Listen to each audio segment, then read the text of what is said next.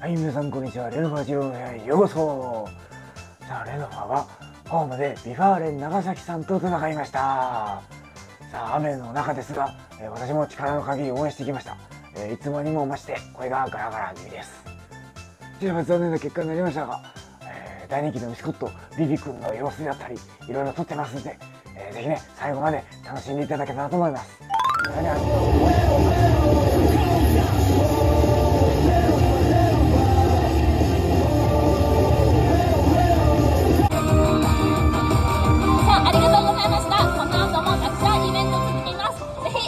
みください。ありがとうございました。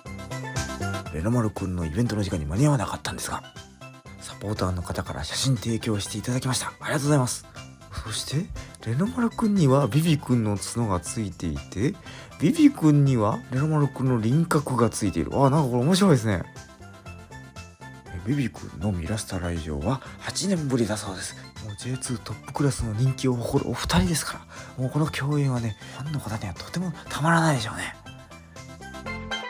そしてこれはビビくんのレインコートでしょうか？おこれもかわい。いそしてビビくんには似顔絵がプレゼントされました。あこれねよく描けてますね。なんかかわいいですねこれもね。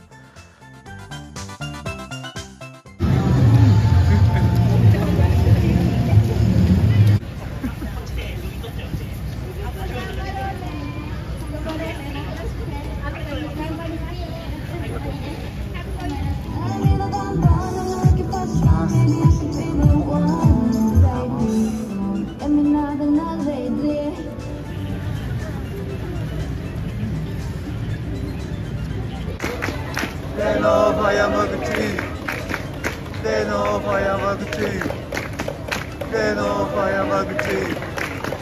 レノここまでいいです。すごいすごい。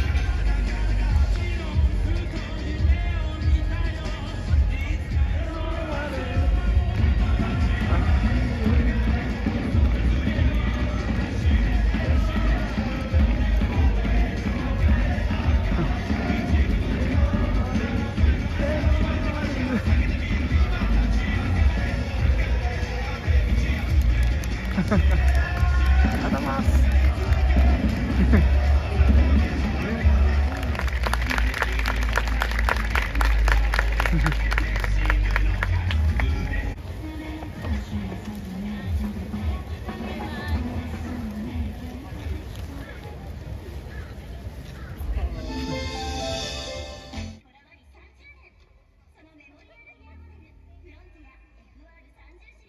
い今日のスコア予想です。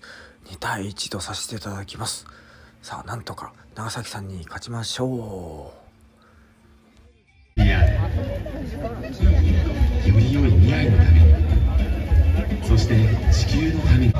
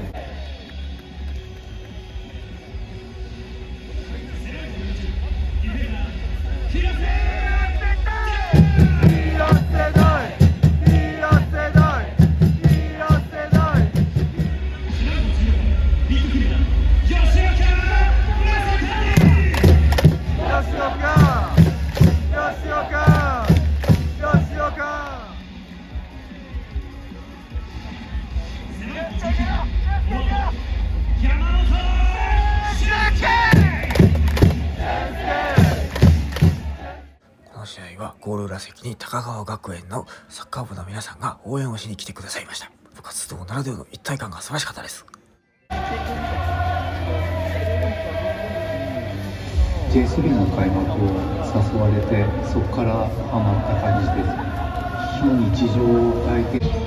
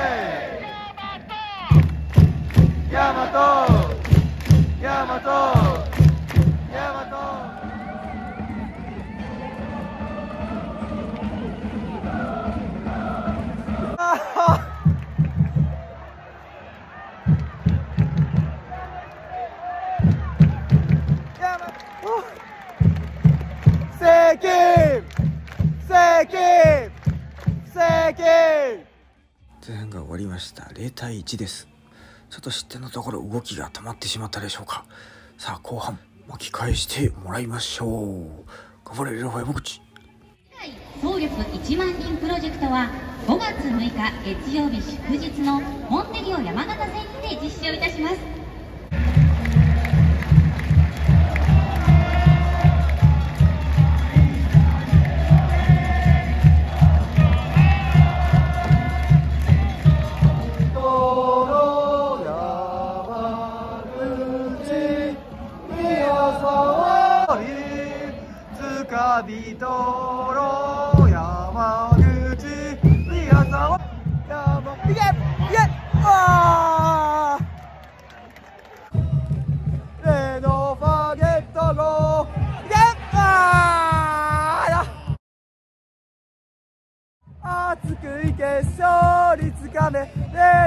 レノファ山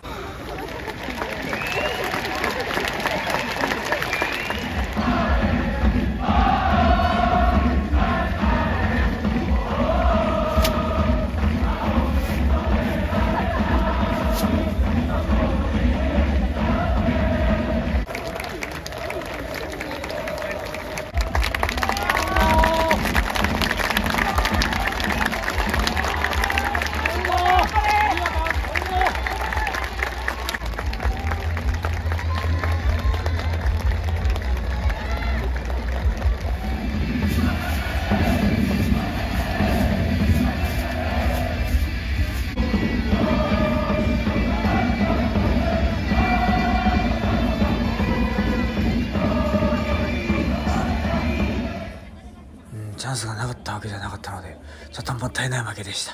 ああ悔しいですね皆さん。雨の中応援お疲れ様でした。